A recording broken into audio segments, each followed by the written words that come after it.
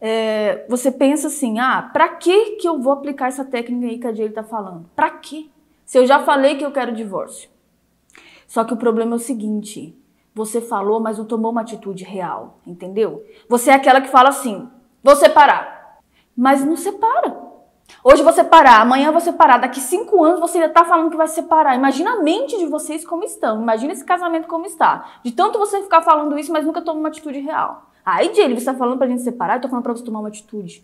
Entendeu? Se não é pra você se você não vai separar, que você já sabe que você não vai separar mesmo, que você já tá nessa enrolação aí um tempão e você não quer isso, mas você fica falando isso, que tá aí um casamento aí há cinco anos e fica, ah, eu vou me separar, ah, eu vou me separar, ah, a gente não dá certo, ah, eu não quero mais você, ai que não sei o quê, ai que isso, ai que aquilo, e ela não toma uma atitude real, ela tá com uma planta aí enraizada já, sabe? Arraigada ali, aquela coisa assim que ela não faz nada para restaurar o casamento, porque ela vive plantando na mente dele do parceiro que elas, eles vão se separar.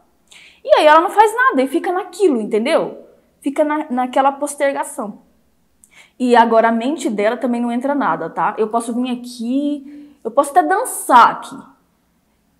Que nada do que eu falar vai entrar na mente dessa pessoa, entende? Aí você passa a não querer fazer coisas para solucionar entendeu? A, a questão do seu casamento. Você passa a não querer fazer nada para isso acontecer, entende?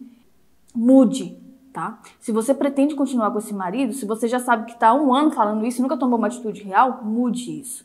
E comece a plantar outro tipo de palavras aí, outro tipo de, de crenças na sua mente, tá?